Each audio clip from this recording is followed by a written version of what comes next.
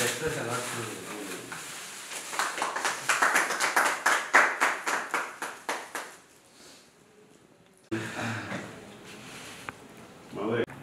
అ- అలా ఇప్పుడు ఈ ఈ వస్తుంది